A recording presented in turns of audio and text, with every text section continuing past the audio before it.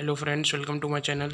So i'm starting a new series called word of the day in which each and every day i'm going to tell you a new word. The series is important for all those who find difficulty in speaking english or are not having enough word in their vocabulary. So today word is procurement.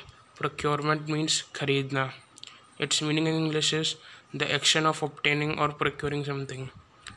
So in one line its meaning is the action of buying its use in sentences the central government will procure 75% of the vaccines. Thank you.